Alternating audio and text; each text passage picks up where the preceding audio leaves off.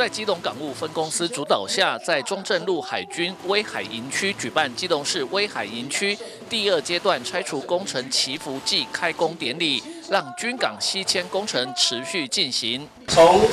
一百零六年启动军港迁移的工作，到现在五年，在今年的七月二十一号，港务公司。把新的威海营区第一期的工程点交给军方，军方并积极的在八月份完成搬迁，这也就是一个阶段性任务的一个完成，同时也代表军港西迁的政策不是口号，而是已经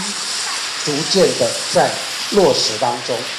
对于军港西迁后，未来东岸港区和市区将有更多可以发展的腹地。立委蔡世应和基隆市长林佑昌为基隆未来二三十年的建设发展奠定基础，同感欣慰，也非常感谢总统蔡英文以及历任行政院长和交通部长的大力支持。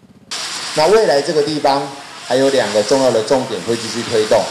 第一个就是在港区内的东势东吴码头，刚才总经理提到的，未来会作为客游轮补给的基地，以及相关的工作。那这样的规划有待于下一次我们游轮的整个的发展，再做重新的来检讨九斗东市的管理。那另外一个就是在这个场域，这个场域我所了解的，未来也会交给国产署跟我们的基隆市政府在做后续的联合开发。那大家都说基隆市在这个地方。都没有商业的区域，基隆市的商业区域很少。我们期待未来在这个地方能够转型作为一个商业的用途，让基隆市多了一个商业空间。那这样的一个商业空间，让基隆市的城市竞争力、整体的活动更加的热络。我最近遇到几个港航商的好朋友告诉我说，他们觉得在这边盖 Outlet 还蛮不错的。为什么？搭配游轮母港的政策，Outlet 会吸引很多人。这只是一个参考。过去大家常常在讲要振兴基隆的经济，要促进就业，嘴巴都会讲，但最困难的是什么？其实是我们基隆市没有投资的土地啊。我们基隆市是一个发展的很早的城市，所以在我上任之初，几乎找不到一块基地是可以让企业家来投资的，所以。投资者为什么会却步？就是他找不到好的投资的机会，没有土地。经过这八年的时间，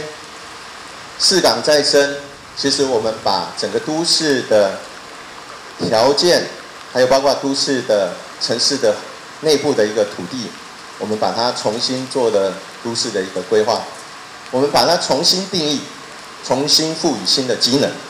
这个其实才是。真正能够让基隆市振兴的一个关键的要素，所以我可以很负责任的，也可以很骄傲的跟基隆市民、跟所有我们在座的贵宾报告，其实我们已经为基隆市的城市发展安下了一颗可以可长可久一二十年经济就业产业发展的引擎，就在我们今天的这一块幺三幺建国有基地。就在对面的 C 四五六号码头的基地，我相信透过金融市跟我们港公司在积极的一个努力跟合作之下，整个市港的一个繁荣，我想是精彩可期。市长林佑昌也特地和立委蔡世印、基隆港务分公司总经理高传凯以及基隆市议员张浩瀚等人一起在即将拆除的海军幺三幺舰队立牌前面合影留念，留下为基隆共同打拼进步发展的时刻。记者吴俊松基隆报道。